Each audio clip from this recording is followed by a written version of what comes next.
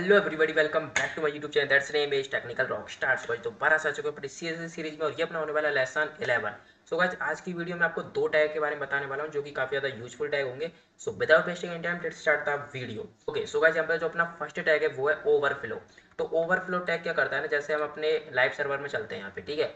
तो यहाँ पे जो है ना, अपनी वेबसाइट ऐसी दिख रही है भाई. मतलब ऊपर से भी इतना ज़्यादा स्पेस है और कभी कभी क्या होता है, नीचे से भी जो ये स्क्रॉल वाला सिस्टम है ना, ये हमको नीचे भी देखने को मिल जाता है। तो भाई, अगर हमको इस चीज़ को ठीक करना है तो वो कैसे करेंगे? तो उसके लिए सिंपल फंडा कि हमको अपने जो वेबसाइट में जाना है और यहाँ पे जो है, आपको एक टैग लगा देना है ओवरफ्लो ठीक है? ओवरफ्लो मैंने लगाया ओवरफ्लो में दो ऑप्शन है स्क्रॉल और हिडन तो स्क्रॉल से क्या होगा ना कि आप उस चीज़ को स्क्रॉल करने के लिए स्पेस जगह हो जाएगी। जैसे यहाँ पे देख सकते हो, ये स्क्रॉल के स्पेस एक अलग ही जगह हो गई यहाँ पे।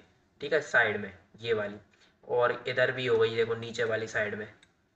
नीचे वाले भी अलग दिख रही है और इधर वाली भी अलग दिख रही है। देखो, कोने में आपको जूम करके दिखा दिया है।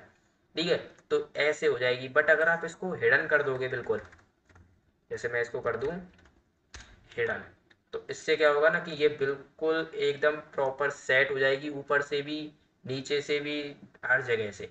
और आपकी वेबसाइट काफ़ी ज़्यादा अट्रैक्टिव जो यहाँ पे लगेगी। ठीक है तो आपको दिख तो गया ये पूरा भाई कितना स्पेस था पहले और बिल्कुल अब सेट हो चुकी है वेबसाइट आपकी।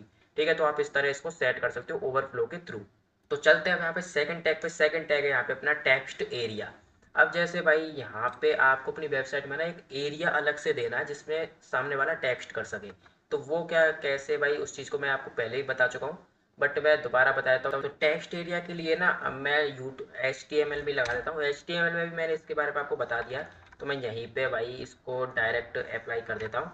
तो टेक्स्ट एरिया यहाँ पे लगाया मैंने, यहाँ पे नेम वगैरह आपको जो भी देना है मैं दे देता हूँ। टेक्स्ट एरिया मैंने यहाँ पे, और ये यहाँ पे जो है ऑटोमेटिकली आ जाएगा भाई, ये आ गया। ठीक है, आप यहाँ पे कुछ भी टाइप कर सकते हो और वो जो है आपका यहाँ पे टाइप हो जाएगा। और इसका साइज़ आप अपने अकॉर्डिंग बड़ा, छोटा, जितना करना चाहते हो, उतना कर सकते हो भाई। ठीक है तो ये यहाँ पे जो एक टेस्ट के लिए एक एरिया बन जाएगा यहाँ पे। तो आज की वीडियो में इतना ही भाई दो टैग मैंने आपको बता दिए एंड आई होप आपके यूजफुल हो ये टैग सो so, अगर आपको वीडियो चले तो लाइक कमेंट शेयर सब्सक्राइब सब करता मिलता अगली वीडियो में तक ले जय गोड.